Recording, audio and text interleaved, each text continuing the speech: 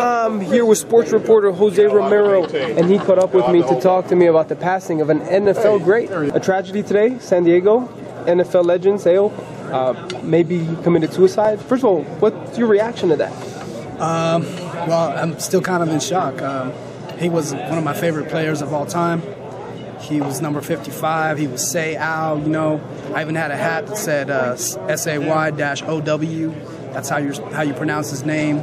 Uh, definitely a guy who was very proud of his Polynesian roots. He was a ferocious player on the field. He was a hard hitter. Uh, he was known for going after quarterbacks. He played the game so violently and so fast, and was one of the most intense competitors that, that ever played the game. And it's a game full of guys who, who hit each other.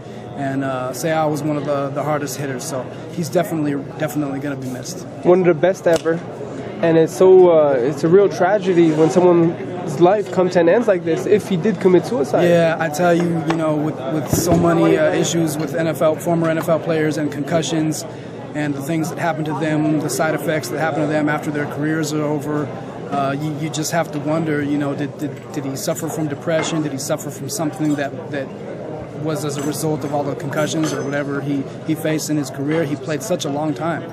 Um, and so you just have to wonder what, what was happening there in terms of uh, did that contribute to his death? I certainly hope not. I, it's very tragic, and I know he's got a family, and I, I really, my prayers go out to him and his family there you have it. Stay tuned for more. A sad day in the world of the NFL. A legend um, passes away. For ESPN3Point.com, I'm Elie Seckbach reporting.